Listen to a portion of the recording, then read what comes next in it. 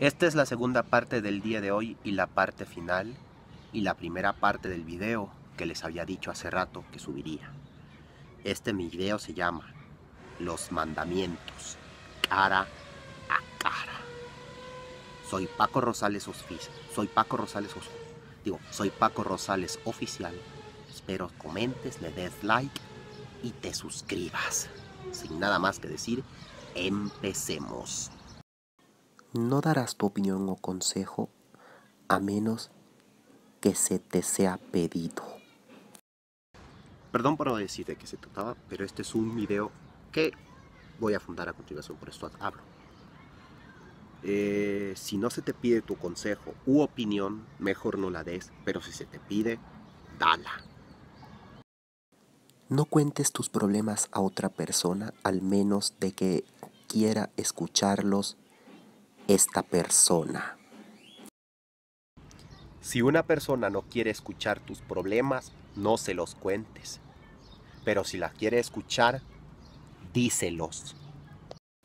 Si estás en un territorio ajeno, muestra respeto o si no, quédate en tu lugar y no salgas. Si quieres buscar un pleito, mejor quédate en tu lugar, en tu casa. Porque si éste te enfada, las cosas acabarán mal. Así que debes ser respetuoso, porque de lo contrario, las consecuencias pueden llegar. Si alguien en tu casa te molesta, trátalo de la manera más cruel y sin piedad. Aquí no es necesario recurrir a la violencia.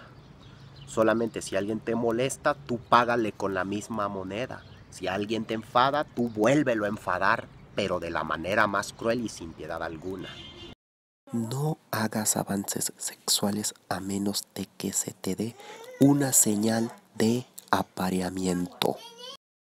Si deseas tener fantasías sexuales como sexo oral, sexo anal, sexo ventral, violación sexual, masturbación, sexo por diversión, orgías, sexo ilícito, fornicación, adulterio, interrupción del coito, sexo con condón o sin condón, o embarazos no deseados, aprovecha esta tesis.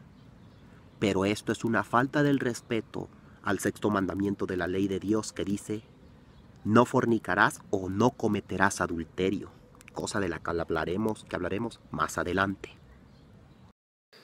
No tomes lo que no te pertenece, al menos de que esa persona se agote y te pida y aclame que a que le ayudes.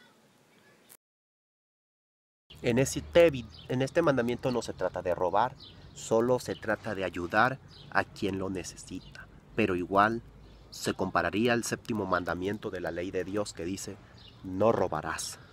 Vamos entonces al siguiente.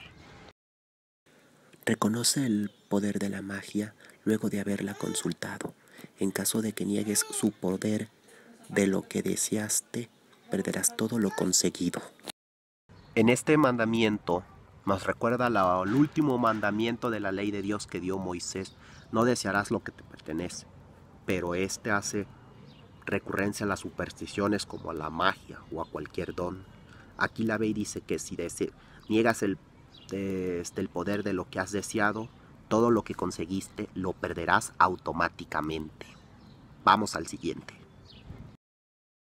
No te preocupes por algo que no tenga que ver contigo. En este mandamiento se hace ignorancia al onceavo mandamiento de la ley del Dios, de Dios que nos dio Jesucristo de amor al prójimo como a ti mismo y hace apoyo a la discriminación.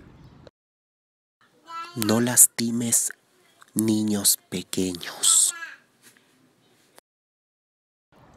Los satanistas odian la violencia intrafamiliar y están en contra de que los padres golpeen a sus hijos con tal de hacerlos obedecer.